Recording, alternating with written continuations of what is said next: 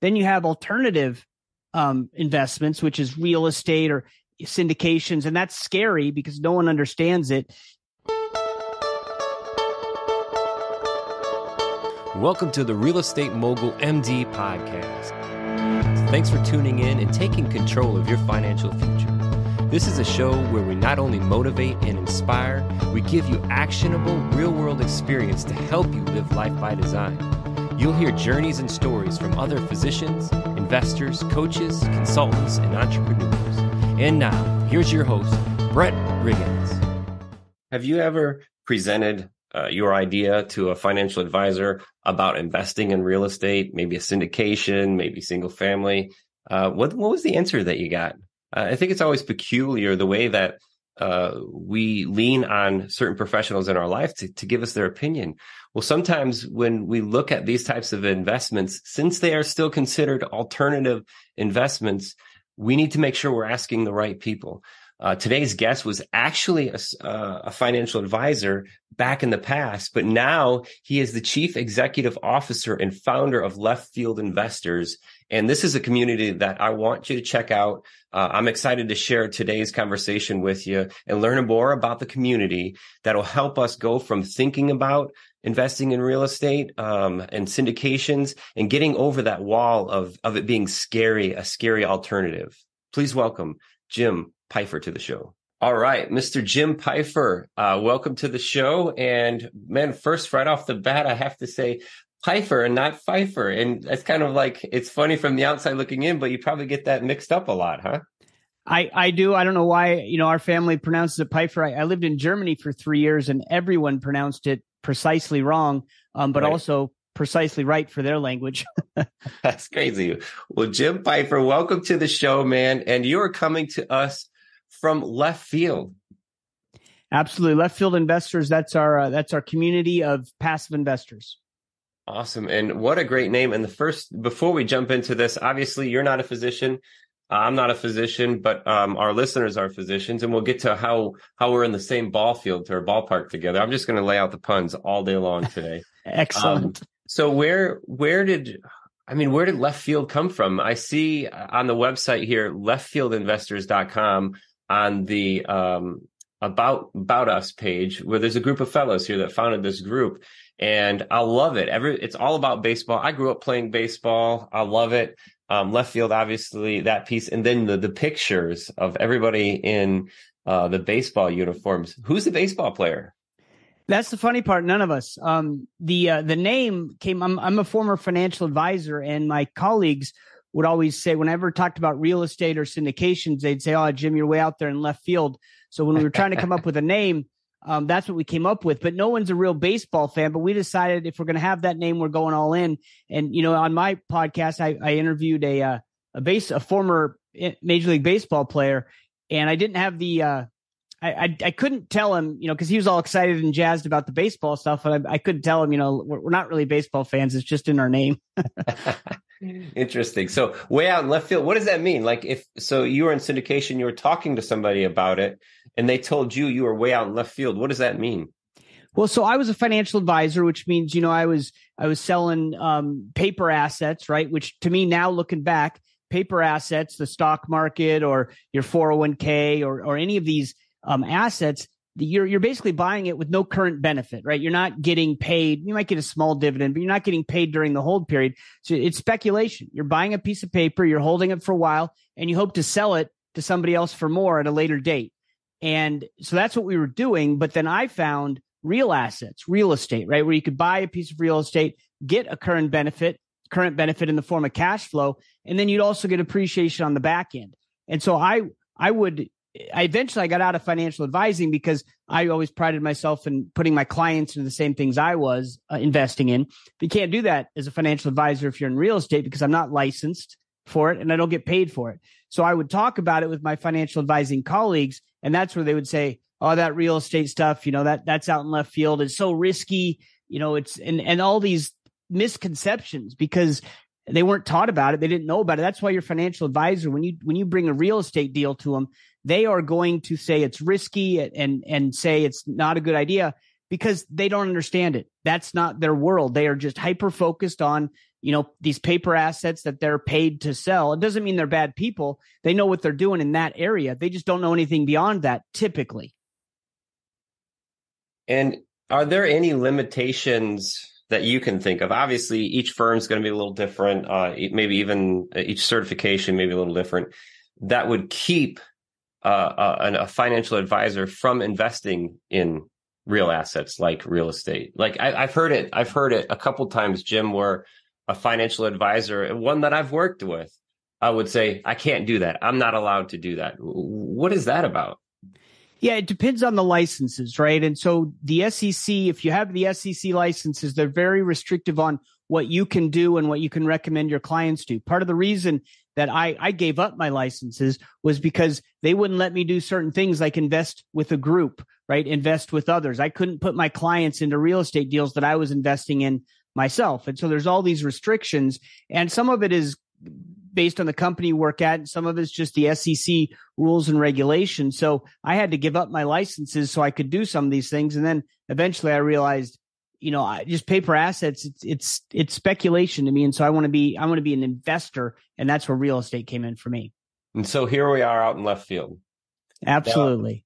Now, left field, man, it gives me goosebumps to say that. I have not invested in any syndications yet but uh, understanding the process, understanding the people, understanding the the pros and the cons um, to scenario, and each scenario is going to be a little different. But man, it feels to be it feels good to be out here in left field, doesn't it? It does. I mean, I feel so much better. I don't track the stock market. I don't care if it's up or down. You know, even now, these uncertain times in the economy, it's it's having there's some real estate that's in some some real bad shape, but most of my investments continue to cash flow. I'm a full time passive investor. All of our income for our family comes from these investments that we've made, and we're still cash flowing. And I'm not worried about whether the values go up and down because I'm a ca- I'm a cash flow investor. Yeah.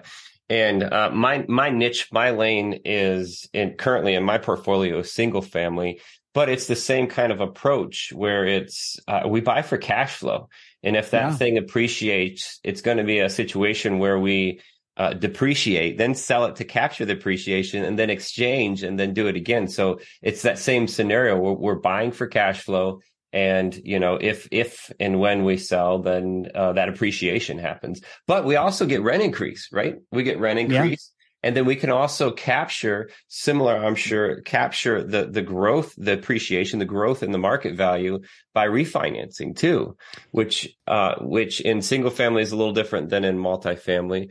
But man it's it's similar because it's it's real assets yeah, and and you also, and this happens in single family. I used to be a single family investor, and has happens in multifamily, especially at times like this where you know inflation and interest rates are going up. Inflation erodes away the debt on your asset, right? So that's another way that you earn a return on your real estate is because as the dollar inflates, your debt becomes less, right? Because the dollar is worth less. So um, there's a lot of different ways to make a return, and all the ways that you make returns on single family are similar in multifamily or self storage or mobile home parks, all these different asset classes that, you know, we look to in, in syndications that we can diversify away from just one specific asset class. You get a lot of those same benefits and, and taxes you mentioned, you know, where you can do the, the 1031 exchange. I'm assuming what you're talking about. Yes, sir. Um, you know, taxes are the largest eroder of a person's wealth. So if you can get as much as much of your assets into the you know bucket three which is the passive income bucket where passive income is offset by passive loss then you're not paying any tax if you do it right. And and in syndications you know we do what's called a lazy 1031 which we don't have like the thing i don't like about the 1031 exchange is it always requires you to get a bigger larger asset with bigger larger debt and you have these timing windows where you have to buy something and identify i don't know all the rules but it's just crazy the lazy 1031, you basically, whenever you sell an asset and you have that depreciation recapture, if you go and buy another asset, you get an- another load of depreciation and offsets the gains on your sale. So it makes it really easy to just avoid or defer legally. And again, I'm not a tax advisor, but you can avoid um, paying taxes at all if you're if you're into the real estate. That's awesome. So the, the lazy 1031 and the syndication, yes. I like that idea. And I just learned recently too that you know, as an LP, you, uh, given the specifics of each deal, obviously, but you have the ability to, uh, I guess, be awarded the depreciation in the deal. And when you have so much, you can keep it. And I think this is what you're talking about now. Say I, my depreciation is exceeding my passive income bucket, then I don't have to necessarily take it all this year. I can hold it, right? And then defer it.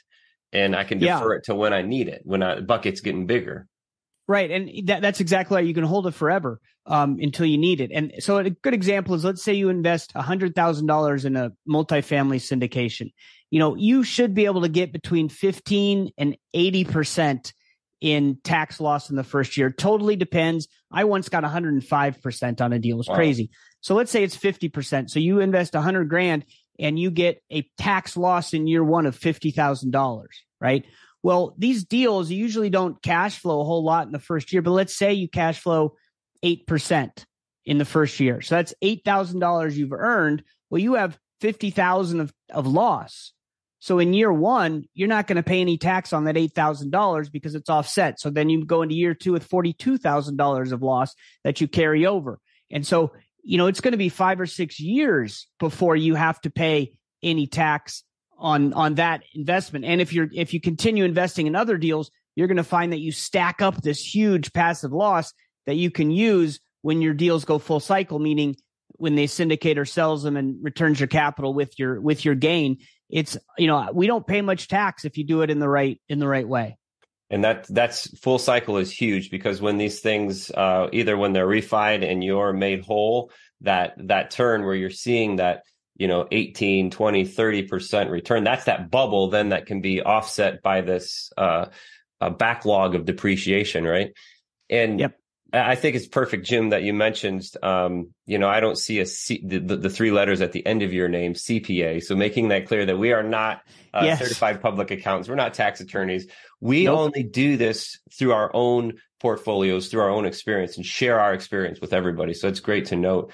But this this bucket, I, I, I love it that way that you've, you've you know you've put it in buckets and diversifying permanent passive income is is a necessity. It's not a luxury, and I think that's what we're. I'm, I'm continuing to preach here on the show, um, in ways to do that too. But this, as we stack up this depreciation, can the depreciation from one specific syndication, one specific property, offset other as long as it's passive, as long as it's inside that passive bucket? Yeah. So, so there's again, you already said it, not a tax person, right. but there, there's basically three buckets. Bucket one is your W two, your your paycheck, which you know, if we're talking to doctors, they got a lot in that bucket. And then the next bucket over, bucket two, is portfolio income, which is um, gains on stock market stuff like that. Um, and then this bucket three is the passive uh, income. And yes, so let's say when I sold all, I had a bunch of single family homes and I had a bunch of small multifamily homes that I owned all by myself. You know, our, we we owned, and we sold them. And we had, you know, the market saved us because we weren't very good at managing those properties, but market has been going up, and so we had huge gains on all of those. And and to to um, I went to my accountant and I said, you know, hey, I, I don't really want to pay all these taxes. What can I do? And he, he said two things. One I didn't like, which was he said, you know, Jim, sometimes when you make a bunch of money, you got to pay a bunch of tax.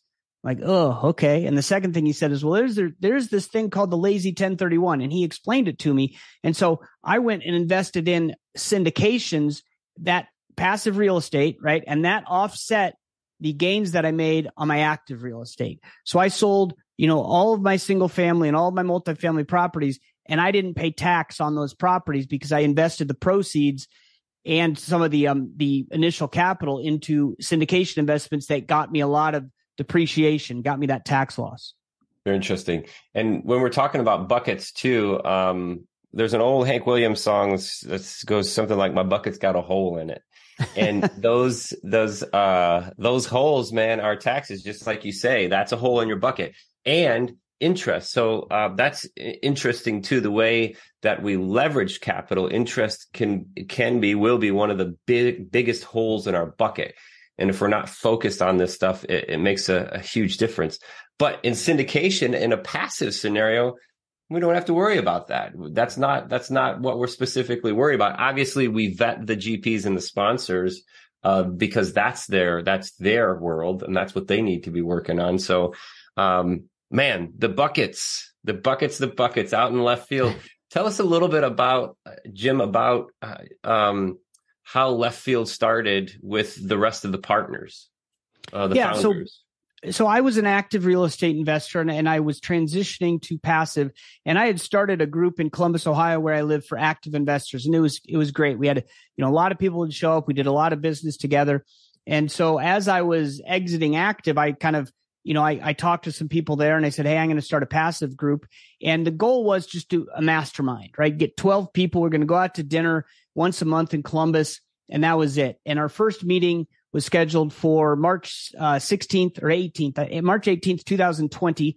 And um, in Ohio, that was, you know, pandemic closed everything down. So we'd never met. And we went online to Zoom. And that that's why we have 1800 members today, right? I tried to limit it to 12. We have 1800 because everyone was just sitting around with nothing to do. So we started inviting guests and we got some pretty high profile guests to come to our meeting. And so, um, the one, one of the, one of our founders, Steve Suh, he's a, he's a physician actually. Um, I met him at the active meetup and we were talking and I remember it was just, it was a, an epiphany because it's scary. It's, it's hard to invest in alternatives because you don't you don't know anything about them. You don't know anybody else doing it. Your neighbors think you're crazy. They'll they'll talk about their 401k, but you talk about syndications, they think you're nuts. Well, I so I met Steve and I was talking to him, and not only was he in one of the same operators I was with, he was in one of the same exact deals. And the level of relief, here's a doctor, a smart guy, he's doing the same thing I am. It just gave me confidence. And that's what left field investors is about, right? It's about bringing together people like minded, not like minded like robots marching down the road, but like minded that we're all looking to pursue financial freedom and build wealth for our families so we can have you know whatever financial freedom means to you so we can have that. And and that's what our community is about. So we have five founders and i met a couple of them along the way and and um you know the, and then we had some others that were just part of our community who were really excited about helping out and they became um, what what what became left field investors. I mean, we started. Our name was CPIG, Columbus Passive Investing Group. Not a very good brand. so um, once we got yeah. left field investors, we started rolling. Very interesting. Um, and on your, I've been touring your webpage as well too. Uh, I see the picture of the team. It's a great picture. Uh, I also noticed that on there you have um, uh, partners on there too. And you just mentioned Columbus, which is very interesting because I see Bush Tax on there, and uh, I know that they're a Ohio-based uh, firm as well too. So probably probably some colleagues that we bump shoulders with together here. We don't even know it. Yeah, well, Bush Tax is he, uh, Nate Bush. There, he's the yeah. one that uh, coined the term uh, lazy 1031 or at least first t- told me about it and uh, since since then we've seen it around a little bit but uh, but Nate started that and he he does the taxes for a lot in our community because what you want in a CPA is a couple of things. If you're a real estate investor, one, you want your CPA to be a real estate investor and you want your CPA to understand your business. So, you know, he started doing syndications or doing taxes for for people like me uh, through my syndications, and now he's part of our community. He does a ton of the tax returns for us, which is nice on a couple levels. One, he's really experienced with syndications. We also do group investing through a company called TribeVest. He does their tax returns as well. But the, one of the best things, and I have to whisper this in case Nate's listening, is if you're living in LA or New York or wherever, you know, you're paying Columbus prices for your for your CPA, and he is um, he does a great job and he's affordable. So I didn't mean to turn this into an advertisement for Nate, but he does a good job and he's he's affordable. Yeah, so just, just I just mentioned that because it's on your partner page, and yeah. Um, I, I, I just want to echo that too for all the listeners out there. You want to make sure that you, the people on your team, and we build power teams, right? And that's how we, uh, real estate is the business of relationships. And those relationships, you build these power teams and you want to make sure that you're working with people who are doing what you're doing, right? And you say that Nate, Nate has a, has a, a portfolio himself. And the reason why I can say this and I'm echo on that, I just want to give a shout out to Nate and his team at, at Bush Tax because that's exactly who does our taxes too. So that's interesting.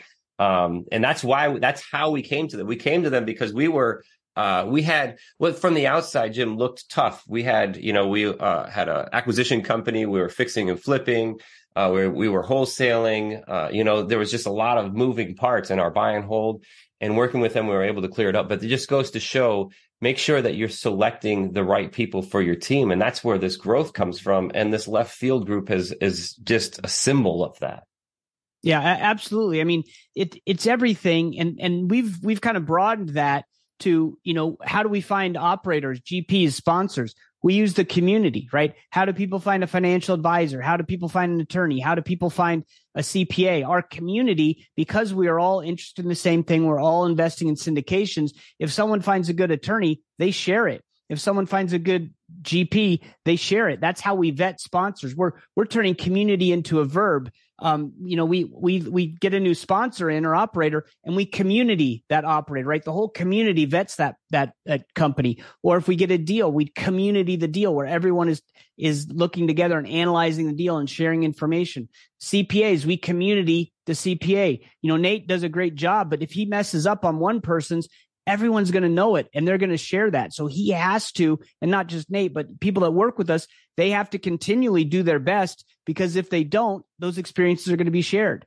Yeah. And uh, this is what I've heard too. It's like when when something goes wrong, or you know, uh, when somebody gets dirt on their name, that's is how that's how it happens. It goes around because you want to, as a um, an investor with integrity, those things like it's it's man it's just it's infuriating when something when somebody knowingly does wrong. Yeah and and we have um you know we have a forum at left field investors where our members can can post and talk about things and one of the categories in that forum is red flag sponsors and those are sponsors that we would never ever invest with again and people post and they say here's why you know and we ha- they have the reasons and then other people add in hey yeah i had this experience and and then a lot of times you get the oh wow. I didn't know that i was in conversation with that operator. I'm not going to invest with them because of your bad experience. So it's not just sharing the positive but it's also sharing the the struggles and the and the mistakes and um you know and learning from each other. And talk about sharing mistakes. I, I just want to throw this out there too. There's a book coming out called Avoiding Rookie Errors uh, as a Left Field Investor, right? Tell us a little yeah, bit about that, that. That's written by Steve Suh, uh, the guy I mentioned. He, he's a he's a physician, and the the subtitle is "20 Lessons Learned from 14 Years of Passive Investing in Private Syndications."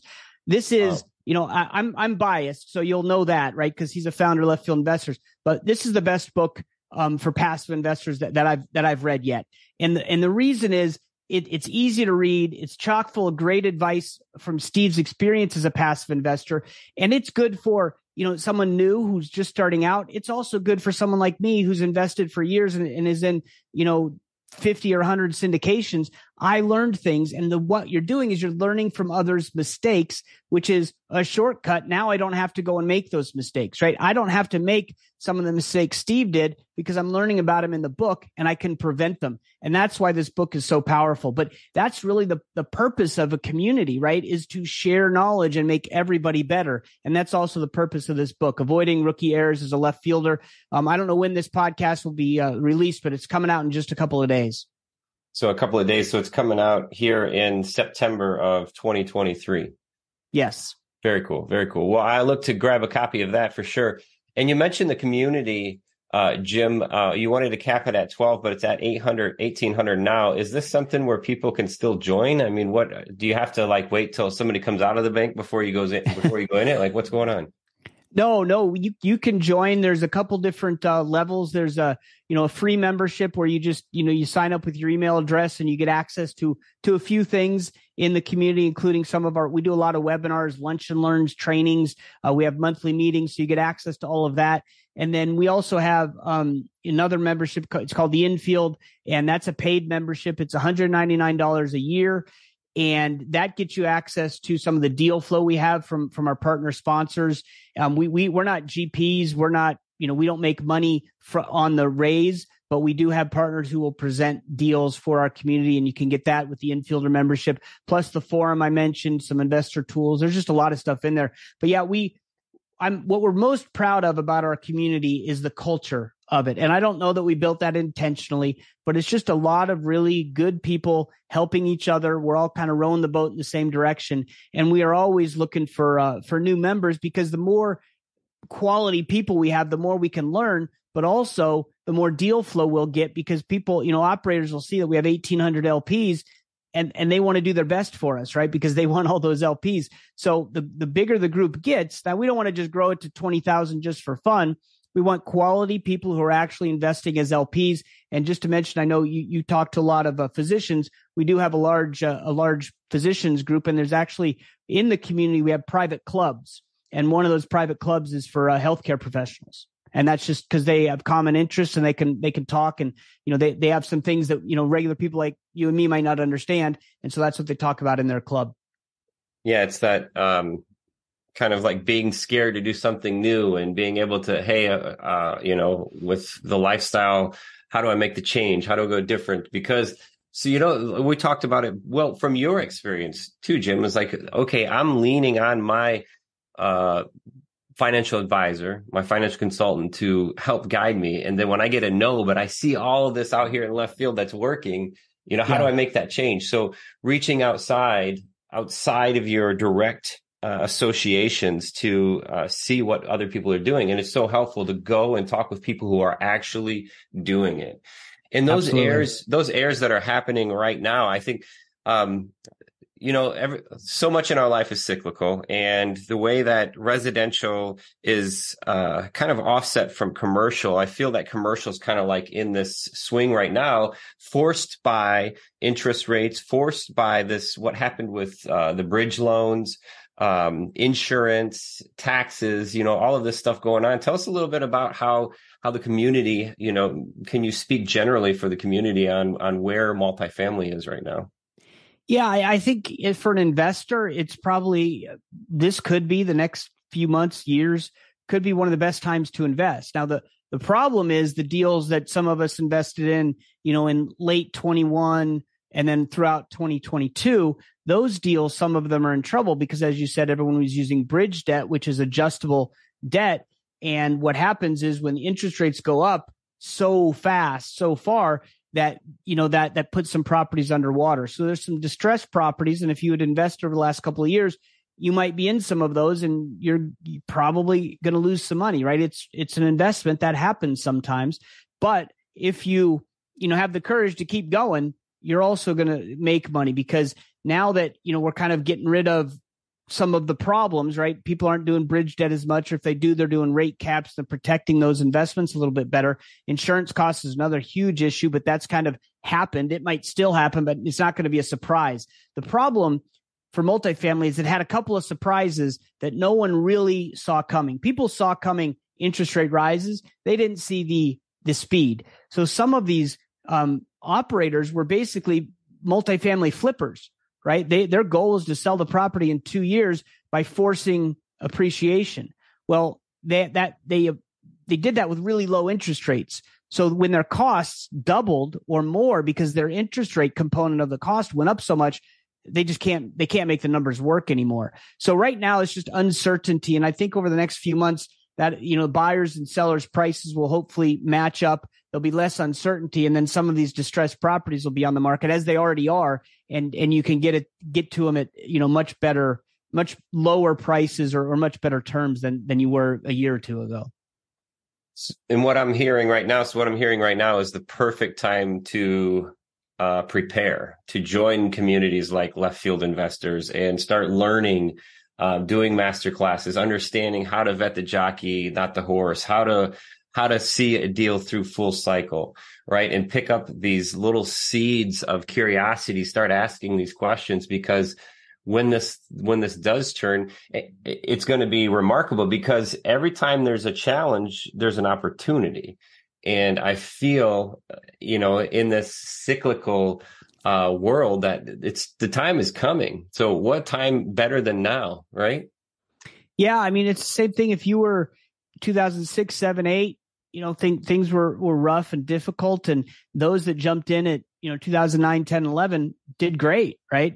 And then just, just rode that for the, and, and this could be, I mean, you never know, but this could be that kind of opportunity because there's still, you know, housing is way underbuilt in the US if you look at demographics and all of that. So there's opportunity there. It's just, you know, you have to, as you said, you got to find the right jockey um, so that they can, they can steer you where you need to go if you could go back 10 years, Jim, and uh, tell yourself something, what would it be? It would have been go much, much bigger into real estate.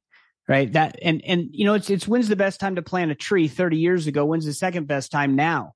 Right. That's how I feel about real estate. If I had known about real estate, I had I was just getting into it 10 years ago. If I had known about it 10, 20, 30 years and gotten into like I am now, you know, I would be so much farther along. And it's just to me, it just makes complete sense that you're buying assets that produce income rather than speculation, right? I don't know of anybody that I know in my in my circle or who I know of or heard of that got rich on the stock market, right? You either own a business or you own real estate. That's the way to build wealth and get financial freedom. And for me, financial freedom means I don't have to work if I don't want to. I can make my W 2 job optional, right? If I was a physician, I could maybe go part time because I don't need the income. And then you just, your, your life becomes freedom. Freedom. And uh, I heard this yesterday money irrelevancy, money irrelevant.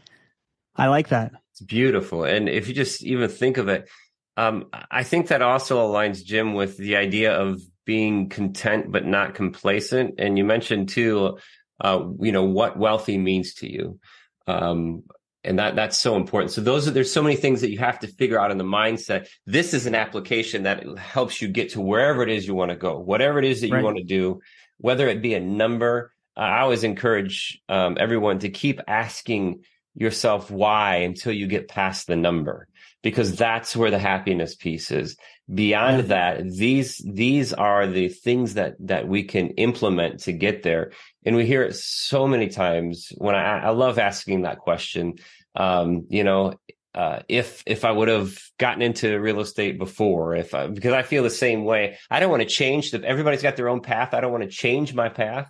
Um, but looking back at the same time, it's like, man, if we had just gotten into real estate earlier, and we hear this all the time, why, why is it still the question? Like, I love to to share this with with listeners and and keep harping on that. So, why is it that it's still that way? Like, we can just preach until we're blue in the cheeks, but it's always going to be that way too.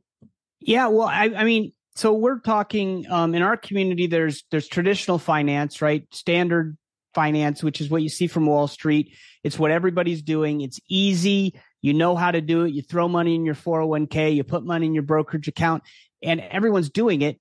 So it, it feels safe, right? It feels normal. Then you have alternative um, investments, which is real estate or syndications, and that's scary because no one understands it it, it's it's hard to you know you, the, the investments are hidden right? Because some of them you can't even advertise. So where do you find them and so what we're trying to do at left field investors is a third way community personal finance right? That's where now you, you're doing alternative finance but use the community so it's not scary it's not unattainable. You're using other people.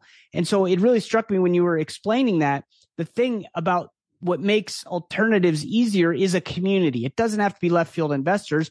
Of course, I'm biased. I think it's a great community, but there's all kinds of communities out there. I just don't see a way that you comfortably get into alternative investments without a community. I remember setting my first wire. It was terrifying, right? Mm. I sent one yesterday, also terrifying.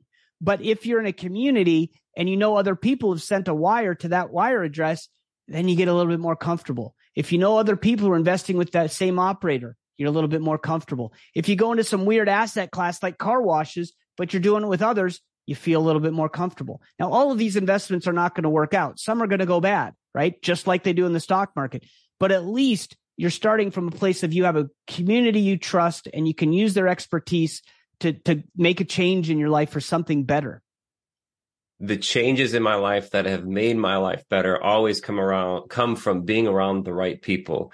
And if the listeners want to do this, it's leftfieldinvestors.com. They can yes. find that. They can find your community there. They can email you directly at Jim Pfeifer. Which, no, it's Jim at Left Field Investors. Yes. We would confuse them if we would say email Jim at Jim Pfeifer and then have to spell that, right? exactly. Jim at Left Field Investors. Go to leftfieldinvestors.com. This is the way that it happens. And for me, my family, my life, uh, me as a person, when I get around uh, high level people, when I get around good people, I can see these incremental, just massive jumps in progress in my life, not only in investing, but as a person in general, a father, a husband, yeah. a friend, a leader. When you're in the room with people like this, things get different. So, uh, man, I just appreciate your time today, Jim. Thank you again for coming on, man. Well, thanks for having me. I appreciate it. It was great. I think we could talk for hours and hours and hours. And I always say this, but I mean, we mentioned so many little pieces in there, and I just got to hold back and say, okay, hold on. This is the, let's just keep rolling. I think the community is the biggest piece here, um, and I just want to express that to the to the listeners out there today. In the book too, when the book comes out, um, take a look at that. And man, I'm excited to learn from that as well too. So I'm ready to dive in. I'll see you in left field, Jim. All right, thanks, Brad. It's great seeing you. All right, man. And to the listeners, thank you again for your time and attention here again today. Don't forget to head to the to the uh, website there, leftfieldinvestors.com and check it out. I always love you know picking through the the team, uh, seeing who's on the team and the the partners, which is really important too. So take some time, check into that, and thanks again for listening to us today. If you get the chance, leave us a review on Spotify or Apple. It helps us reach other people. So uh, we are out here yelling from the rooftops. This new, uh, this it's not new. It's time tested. It is a real asset. It should no longer be. I'm, I'm going for it now. It should no longer be called alternative investing. This should be the new norm. Let's make left field the whole field. But thank you again for your time. Uh, if you have any questions for us, info at physicianwealthsystems.com. Uh, thanks again. We'll talk to you next time.